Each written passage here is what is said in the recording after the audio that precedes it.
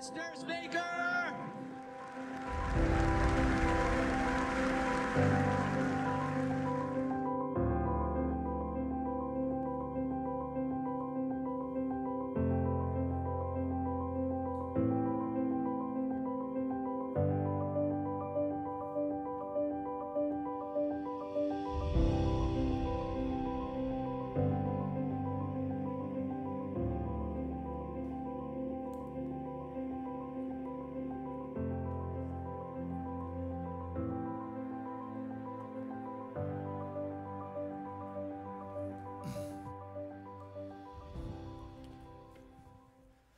Morning, everybody. So good to see all of you here. Glad you're joining us uh, today. Glad you're joining us as well online. There, good to see you guys as also now or later. And uh, want to jump into the, the message right away this morning. I have some important things I think for us to talk about. So I'm the father, if you didn't know, of four daughters. Uh, they're all out on their own now, uh, which means I'm old officially. Uh, but when they were much younger, when they were preschool age, early elementary, all of that kind of stuff, and we were going to go anywhere, I always would try to make it a big deal, mostly self-serving to motivate them to, you know, get their hind end together, get their shoes on, and all that kind of stuff. But like, we're going to Walmart. Hey, we're going to Walmart, and then you know, let's get shoes on, and whatever. We're going to the store. Hey, we're going to the store. Whatever it was, I'd, I'd be excited about it. And I even would sometimes lie to my children when we're going to the doctor and I knew that an evil man was going to plunge a sharp object into their pudgy thigh, I would still say, It's going to be great, let's go to the doctor. And, and I would lie to my children. Uh, they, they've spent a few hours in counseling over, over my uh, you know, dishonesty. Uh, but I always felt like a fraud when I would do that to my kids because I knew I was lying to them. I knew I was saying, Hey, it's going to be great. And yet I knew from their perspective it was going to be really hard. And yet I would do that because I felt like the net result on the back end of the event was worth it. It was, it was healthy for them, even though on the front end it was going to seem hard. I was willing to go through hard to get to what I thought was healthy. And that sort of resonates with me today. Um, I think you'll understand that more as, as we get into it. So, ancient historical scholar Larry Hurtado has identified five key characteristics of early Christianity. And this has been fascinating to me. Uh, Hurtado said that early Christians were non retaliatory, they wouldn't they wouldn't fight back against people when they said awful things about them. They wouldn't even fight back when people did awful things to them. I mean, they threw them to lions and lit, lit them with pitch and all this terrible stuff, and they wouldn't fight back. They were non retaliatory. Hurtado says they also advocated for the poor. You know, advocating for the rich and the powerful, the connected, that's always been popular. Everybody's always wanted to do that because if you, if you advocate for them, they may do something back in return. But advocating for the poor, advocating for those who couldn't return the favor, that was new. That was revolutionary. That was Christian. They also had a strict sexual ethic, and that was completely unheard of in the Roman world. Like, uh, most Romans expected their wives, their girlfriends to be chaste and committed and all of those pure, all of those things. Uh, that was not new. But, but Christians also expected the men to be chaste and committed and pure, and that was completely new. That was revolutionary. That was, that was now Christian. Now, you may notice that this has been the recent focus of Wellspring's teachings. So, the Tension series was all about the idea of non retaliation, and the King Jesus so, series so far has focused on advocating for the poor and a strict sexual ethic. But before I reveal number four and five, which are the next two weeks of the series, today and next week, I want you to notice something important, especially as we're in this heated political season, this environment we find ourselves in. Two of the items on the list are stereotypically considered Republican issues. Two of the items on the list are stereotypically seen as Democrat issues. And honestly, one of the items on the list, no one does. Like, no one embraces non retaliation. We're all hateful to one another. No one does that. That's why I actually got three weeks instead of just one. Um, so, making Jesus your king will likely ruffle all of us because that's not how we live our life. The way he would call us to is not always how. And maybe in some areas we'll line up and say, oh, that's me. And other areas, like, wait a minute, that doesn't sound right at all. And in fact, if, if following Jesus never ruffles you a little bit, you may have misunderstood. I may have misunderstood. Making Jesus our king will likely ruffle all of us today because far too many Christians read their Bible a few minutes a month and allow CNN and Fox News to disciple you six hours a day. And that's got to change. For the sake of our country, that's got to change. For the sake of the church, that's got to change. That's not where we need to go. So, next week, week five uh, in this list, week four in the series, we're going to talk about how early Christians, at a time when everyone cared for their own, everyone cared for their people, their family, their tribe, their race, their country of origin, Christians also welcomed the stranger. And today we're going to consider how Christians were protectors of life. I, I uh, looking at this list, I asked Chris's watch earlier, and his watch said I would need six months to recover from this list. Um, so uh, I'll, I'll try to start that the week after next. Now, I would ask you, uh, seriously, uh, over the next two weeks, because some of you probably who get ruffled this week will be very excited next week, and some of you will be very ruffled next week will be excited this week. So I would ask you over the next two weeks for you to keep an open mind, an open heart, give what I'm saying a chance. I would also ask that you stay all the way to the end and, and get the full picture before you object. I think that will be helpful to you as well. Okay, this document here is known as the Ebers Papyrus. It's a 20 meter long scroll from ancient Egypt uh, it's now currently housed in the, Le- the Leipzig Library in Germany, Leipzig, Germany. It was written just a few years before Moses was born in 1550 BC in, in Egypt. It was a medical document and outlined uh, the current treatments of the day, the best knowledge, the best technology of the day. It, it, told them ways to use herbs, it told them ways to use procedures to heal all kinds of ailments and maladies that might have happened in, in ancient Egypt A couple examples. So they said if you had a burn, like on your arm or your leg or whatever, it says you get a, a, a frog and you place the frog inside a, down into a pot with a mixture of oils in the pot. So it gave specific oils. And you put the frog down in the oil, and then you began to heat the pot up. And once the oil and the frog got warm, you would take the frog, dripping with oil, think like a loofah, and you would rub it on the burn, and that would, that would heal your burn according to the Ebers Papyrus. The Ebers Papyrus also recommended if you were constipated that you eat berries and you drink beer. And some of you are going to try that later today. Like that's going to happen for somebody in Spring Hill, uh, beer and berries. That'll, that'll be a new uh, treatment. The Ebers Papyrus also is the first recorded document in history, first known one at least, that describes methods of abortion. It, it describes how to, quote, empty out the conceived. And I bring that to your attention because this is a really old debate. Uh, abortion in, in those days was, was dangerous. They didn't have the technology that we do now. And honestly, it was unreliable in the ancient world. Some of the treatments, as you might imagine, didn't actually, quote, empty out the conceived. Um, so, a more common practice in the ancient world, and this goes all the way up to, to Jesus' time, was a practice called exposure. And we'll talk about that more in just a minute but it's in the same category. So last week I, I started the message by holding up this uh, chalkboard, this blank slate, and I use it as an analogy to say if you came at a topic with no ideas, no experiences, no thoughts, no past, you would be the blank slate. But how a, a group of people, when they come to a topic, typically are not completely blank. That was true last week when we talked about sexual stuff, certainly true this week as we're talking about uh, this topic. And so I just want to ask that you keep an open mind whatever your background is, whatever thoughts or experiences you might have had, keep an open mind, keep an open heart. And again, I'd ask you if you uh, feel like I say something correctly and you're agreeing with it, I'd ask you not to be overly exuberant about that because you may be approaching this topic from a, a political standpoint or an ideological standpoint, and yet somebody else, maybe somebody sitting near to you, may be approaching this discussion of abortion from a very personal place or even a very painful place. And so I'd ask that you just, you, you kind of be mindful of that, be empathetic about that. I'm confident in this room that we have Christians and non Christians. And I'm so glad you're all here. If you're exploring faith, or if you're watching online exploring faith, I'm so glad you're here. I'm so glad you're entering this conversation with us. I'm also confident in this room we have pro life voters and pro choice voters. I'm confident in this room we have women whose babies have been aborted and men whose babies have been aborted. I'm confident in this room we have men and women who have regrets from their past concerning abortion, and maybe men and women who, not, who may not have regrets. I'm confident in this room we have people who think, I can't believe the church is finally is talking about this, to others who are saying, finally the church is talking about this.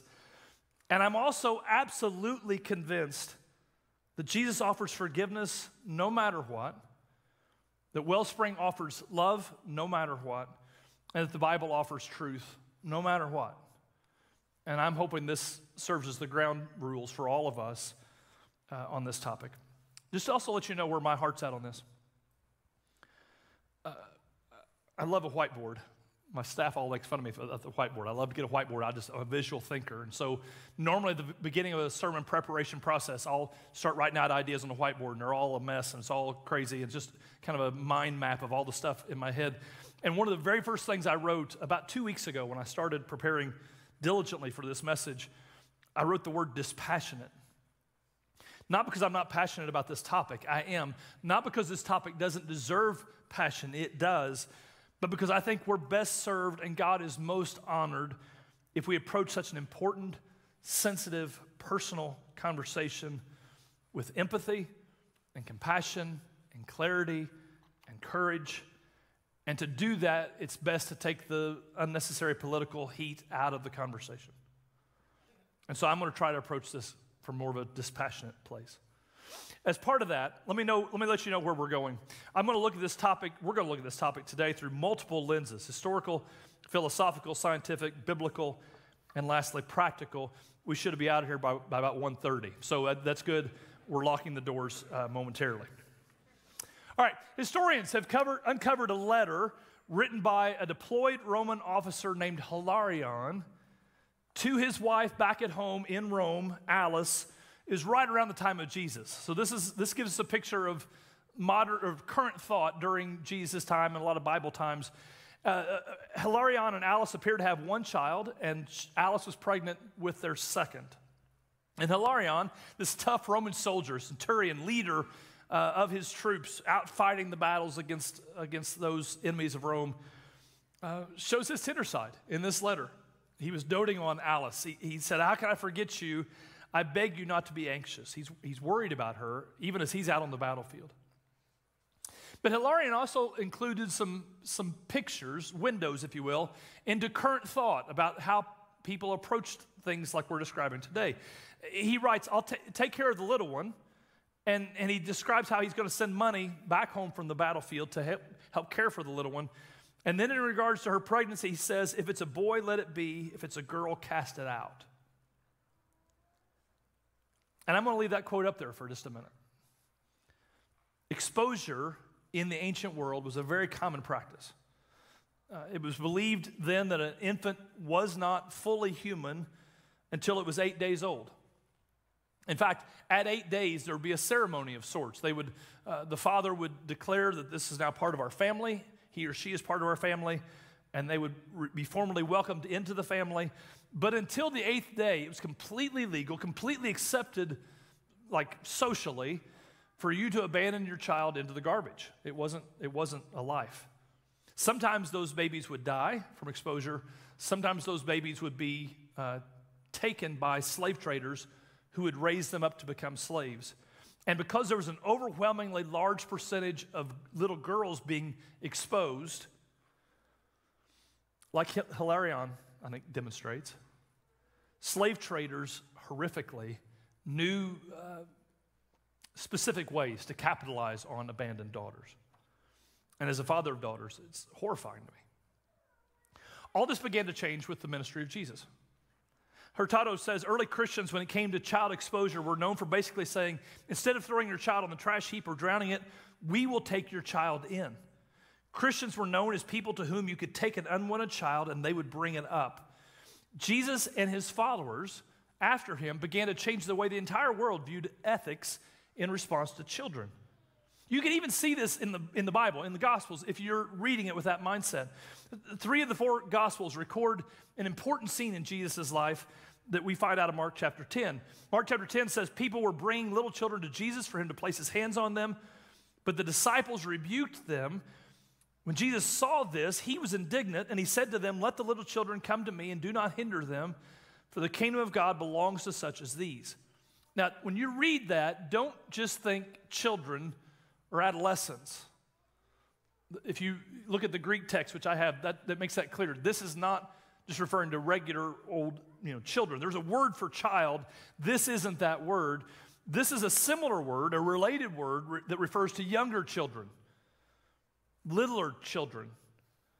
Uh, and notice that Mark says that they were brought, they were brought. Sounds like some of them weren't walking. Maybe lots of them weren't walking. You should think toddler, think baby when you read this passage. So, moms and dads were bringing their toddlers to Jesus, babies to Jesus, and the disciples who had grown up in Hilarion's day. They had had the culture seep into them, as we all can sometimes do, and they said, These guys don't matter. They're just babies, they're just toddlers, they don't matter. Get them away from Jesus, cast them out, discard them. They don't matter. They were indignant that the parents were interrupting Jesus with, with these children who don't matter. And Jesus, when he saw it, he was indignant at them. M- many translations use the word angry. Some, some the New King James says greatly displeased. The disciples were indignant at the parents, Jesus was indignant at them. And because of Jesus, infants facing exposure now had a third possibility death, slave traders, or Christians who would raise these precious abandoned children not to exploit them, not to sell them, but to adopt them, not to keep them down, but to lift them up as children of God, made in the image of God, with the dignity of God.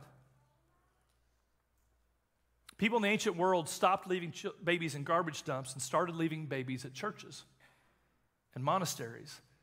In fact, the, the modern idea of orphanages often started with Christians who were in communities finding themselves raising many children.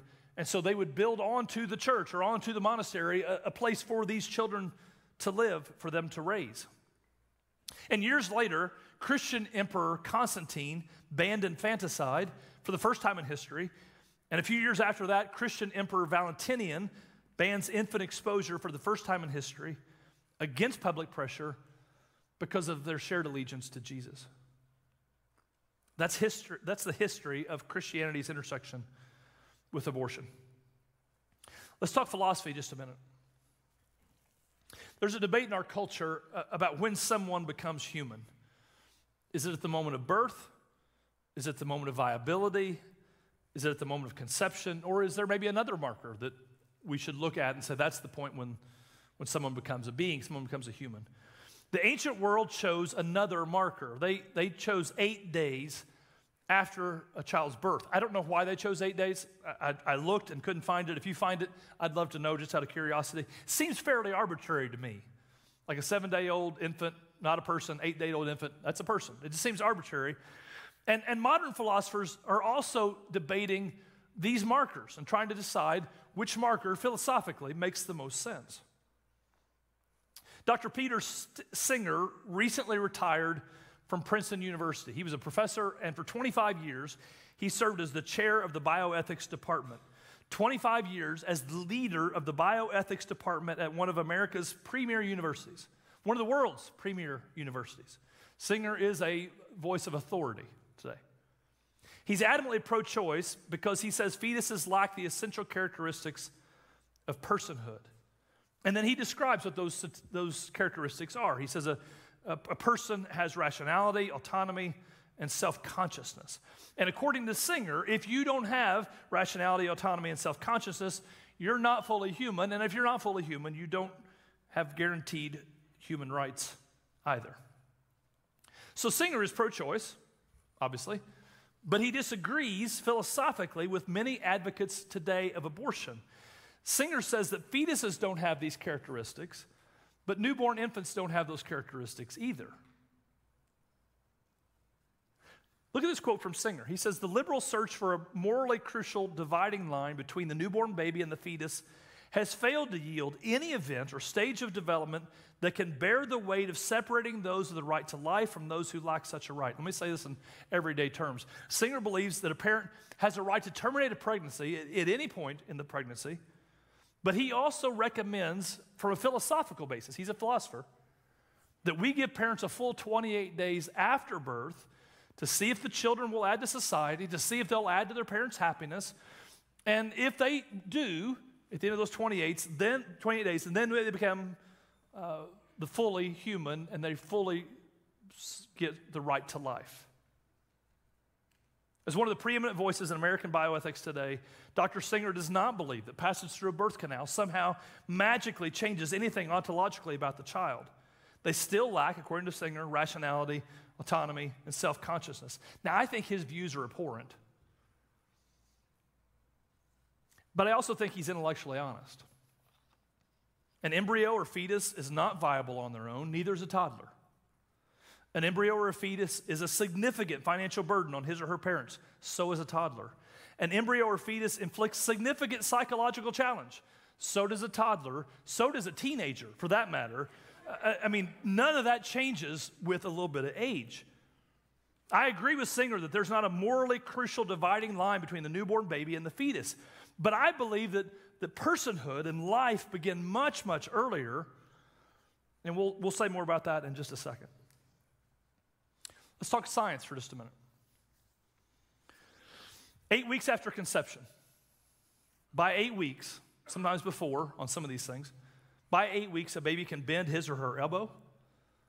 A baby has fingers and toes, eyelids and ears. They have a, a thumb that they can suck and that they do suck at eight weeks after conception. At eight weeks, if, if a baby is uh, during a procedure or something is poked with a needle, because their nervous system is already up and running at eight weeks after conception, a baby will recoil from pain and try to get away from the needle. At eight weeks, they are scientifically speaking distinct from the mother.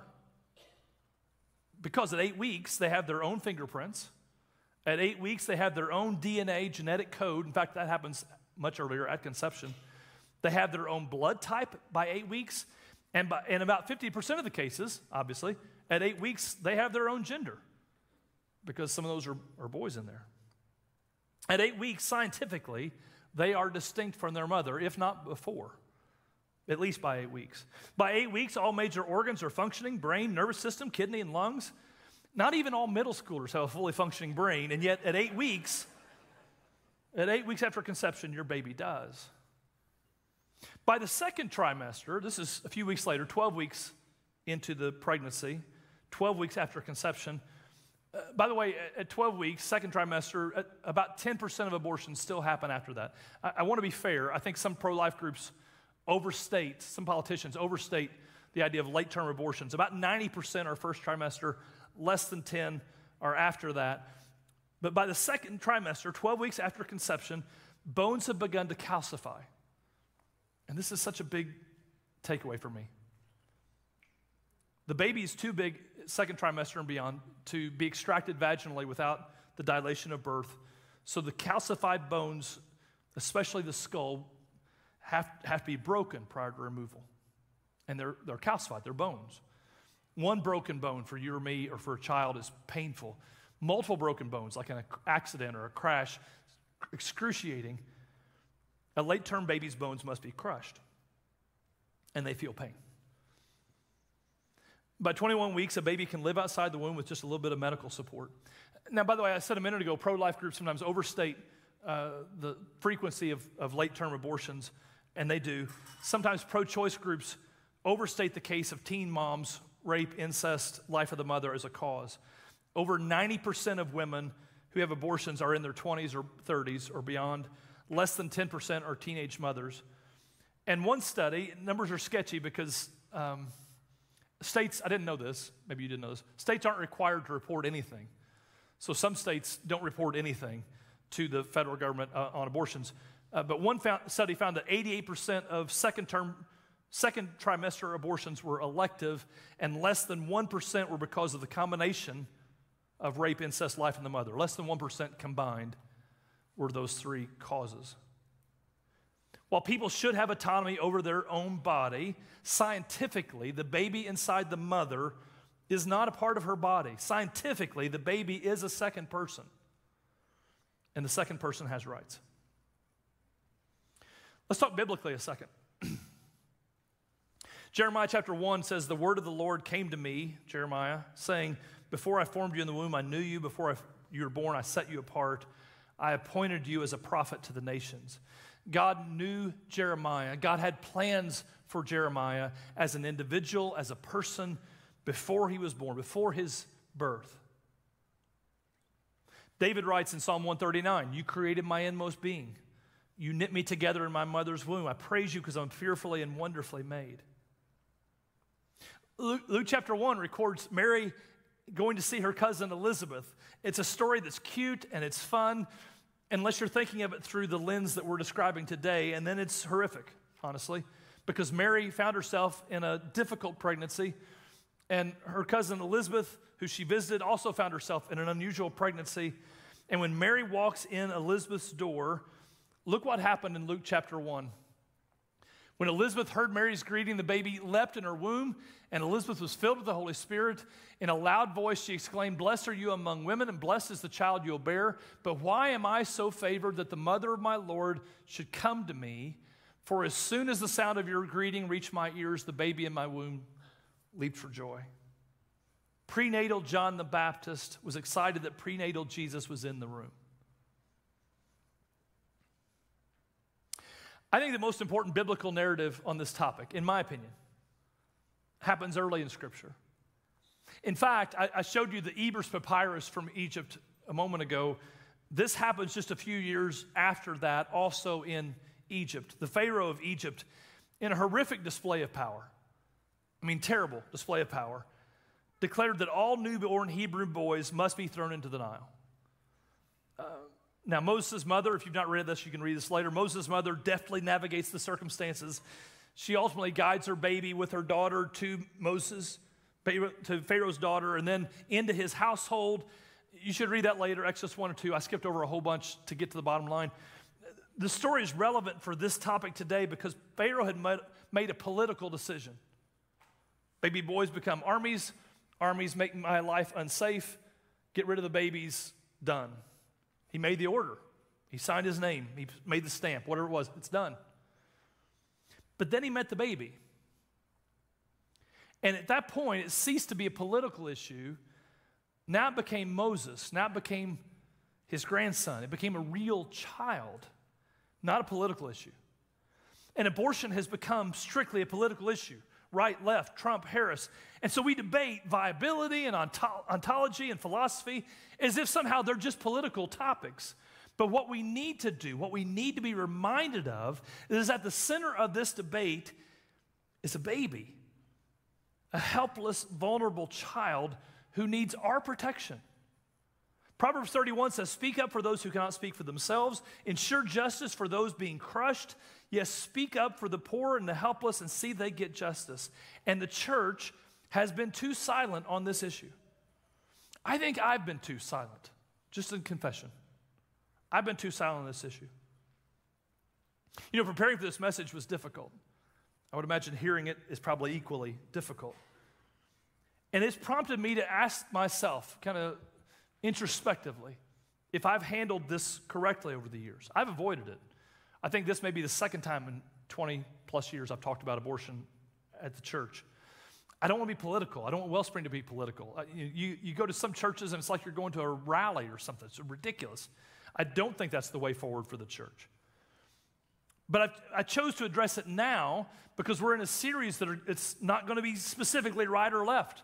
We're going to ruffle people on both sides of the aisle. But I really wonder if we won't look back historically, years from now, the church, not just us, but the church, and realize that we were duped into a grievous evil because guys like me didn't want to be political. I think that may be the case. And I feel bad about that. Okay, we've looked historically, philosophically, scientifically, and biblically. Let's talk, let's talk practically for a second. Abortion ends the life of roughly 1 million babies each year. Numbers are down from the, the late 80s, early 90s, but actually up over the last few years. Numbers are on the rise. According to the CDC, this is, by the way, this is, of all the things I studied and read, many of which I didn't include, this, is what I'm going to tell you is the most horrific thing I saw. According to the CDC, there are 204 abortions for every 1,000 live births. 204 abortions for every 1,000 live births. That's a, about a one to five ratio, one abortion for every five births. For perspective, this week, today and Wednesday night, Wellspring will have about 300 kids and students come through this building. That happens every week, Monday to Thursday. More than that when you count in preschool, Monday to Thursday at TAWS. And that means we have lots of women, we have lots of men who have faced the agonizing decision of abortion. And I'm confident that Jesus offers forgiveness no matter what. Wellspring offers love no matter what. The Bible offers truth no matter what. And let me, and let me just say, I was talking to somebody in between services who is a nurse, has had lots of very personal exposure to this topic. And she said, I, I, I wish the moms and the dads who've made this decision would realize that A, God forgives them, and B, you'll see those babies again. And that's true. Jesus offers forgiveness no matter what. Wellspring offers love no matter what. The Bible offers truth no matter what. But if the one to five ratio is correct in Spring Hill, one abortion for every five live births, and if it should be assumed, which it should, that most people do not make this decision flippantly, it's agonizing and painful and worthy of much compassion. And that likely means that many of the, the men and women who made the decisions they made made it because they couldn't do it on their own. They, they, they couldn't raise the children or they couldn't raise them without lots of extra support. And that's why they made the difficult choice.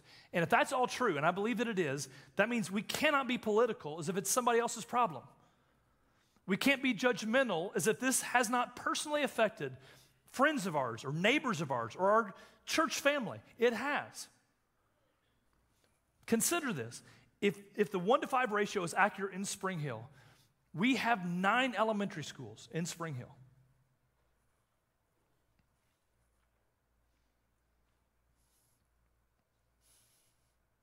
So we must be prepared, personally, individually, and as a church, to sacrifice financially and with lots and lots and lots of our time and energy and prayers to put our money where our mouth is.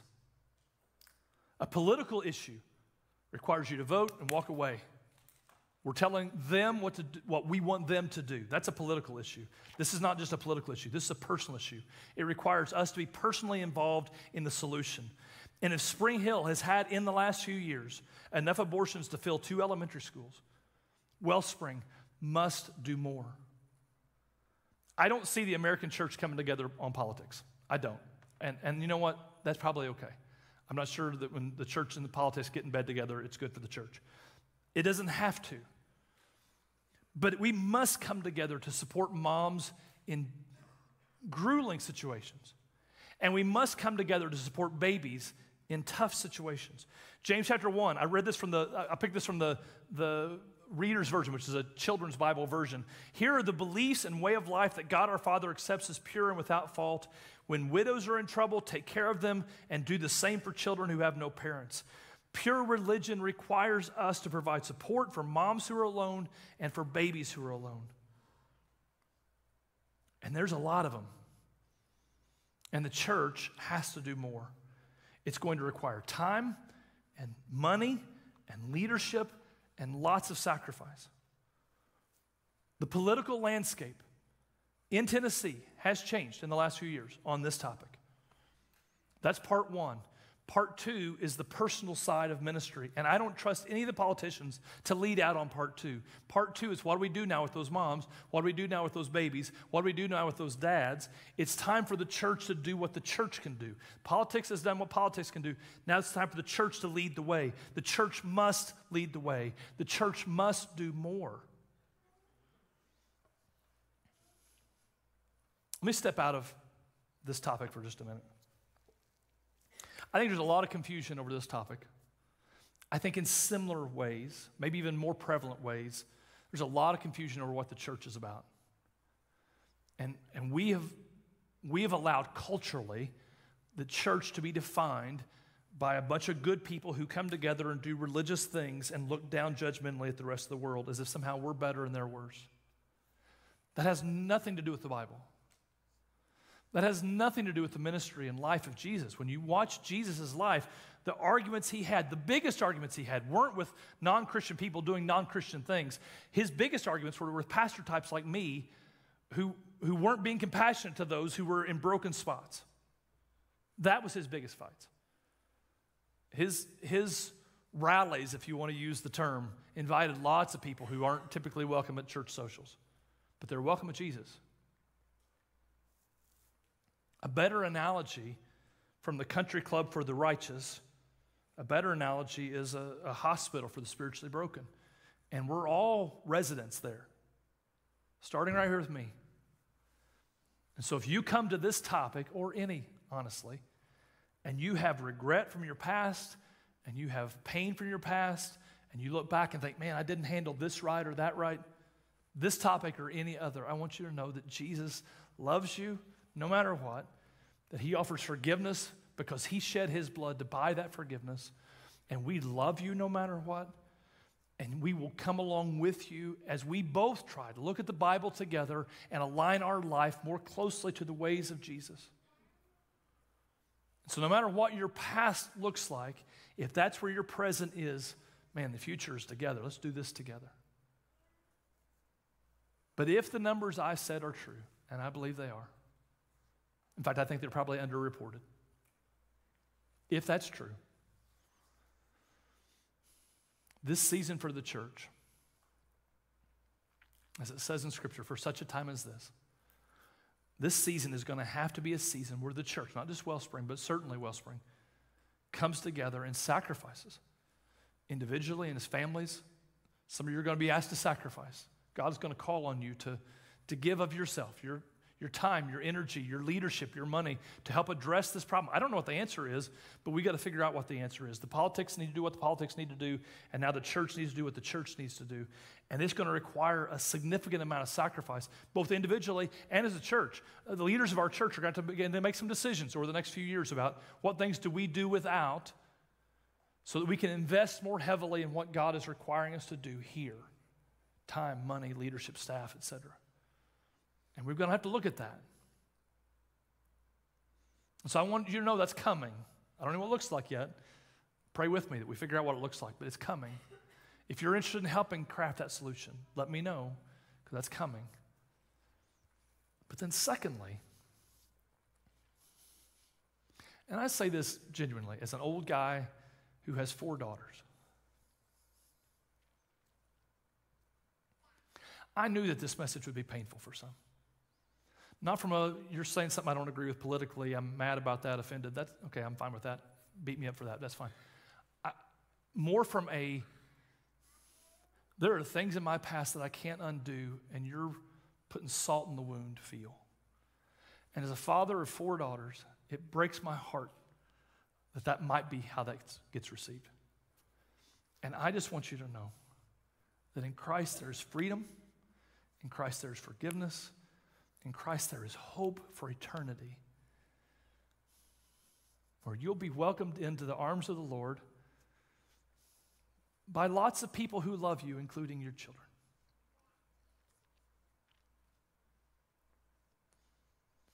In just a moment, we're going to have a, a, time where we're going to sing, and I'm going to walk over here. And I want to invite you at any point or the next, I don't know, 30 minutes or so. I'm just going to stay over here. I won't be in the lobby. Um, so if you want to come during the song and, and let's talk, I'd love to listen. We'll pray. Be great. If you want to wait till after the room clears out, I'm just going to hang out here for a while. In fact, Amy's going to come in. We're going to be over here together. And um, I just want you to know we love you, no matter what. And, and Jesus loves you, and He died to forgive you. And if you've asked for forgiveness, He's already done that.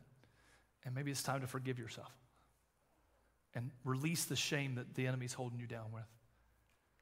And, uh, and then it's time for us to come together and figure out what we, what we do for such a time as this, because this is where we are. Let me, let me pray, and then I'll, we'll wrap up. Dear Lord, I pray that the, the, the stillness of this room indicates what I've been praying for, that, that your Spirit's doing what your Spirit can only do. And God, I pray that in such a varied topic, that you will provide what each of us needs. That you'll provide what each of us needs. And that may be different person to person. Lord, we come to you as broken people in need of a Savior. This is just another example of how that's true.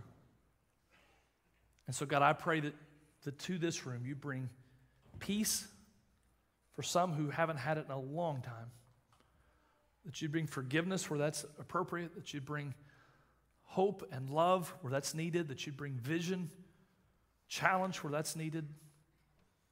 God, whatever we need, we, we come to you as the solution because you are our King. And we want to build our life according to your ways, according to your truth, according to your grace, according to your Son. And we commit to do that as our King. And in his name, amen.